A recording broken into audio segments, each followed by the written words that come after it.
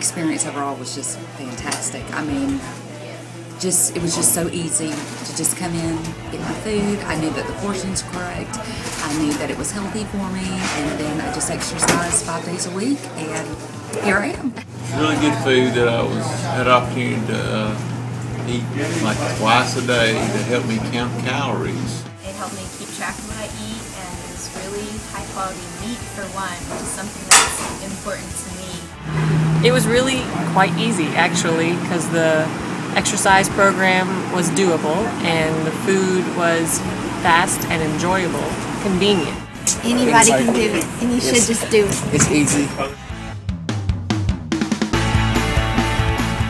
Barberitos made that so simple because the menu was easy for them to manipulate. It was easy for them to just go in, pick it up, and go home with it. Um, so all in all, I mean, it, it was probably twofold: a lot of educating, and then a ton of effort on their side.